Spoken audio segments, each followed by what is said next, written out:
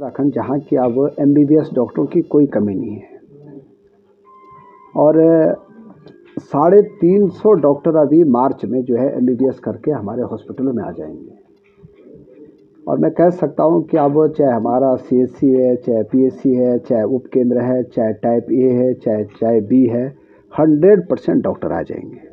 और उससे बड़ी खुशी की बात ये भी है कि चालीस हमारे सर्जन भी आ जाएँगे इस बार।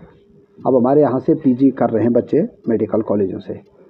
2024 तक हमारे यहाँ सर्जनों की भी आप कमी नहीं रहेगी। सर्जन भी पर्याप्त मात्रा में मिल जाएँगे।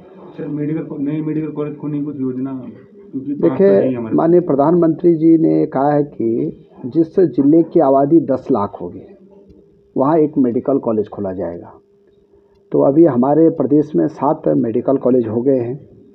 और हमारा प्रयास रहेगा कि चमोली ज़िला, चूँकि वहाँ यात्री बहुत जाते हैं, उत्तर काशी ज़िले में भी यात्री बहुत जाते हैं तो प्रयास ये रहेगा कि हम हर ज़िलों में जो मेडिकल कॉलेज की कल्पना माननीय प्रधानमंत्री जी की, भारत सरकार की है, उसके लिए प्रस्ताव हम जल्दी भेजने वाले हैं।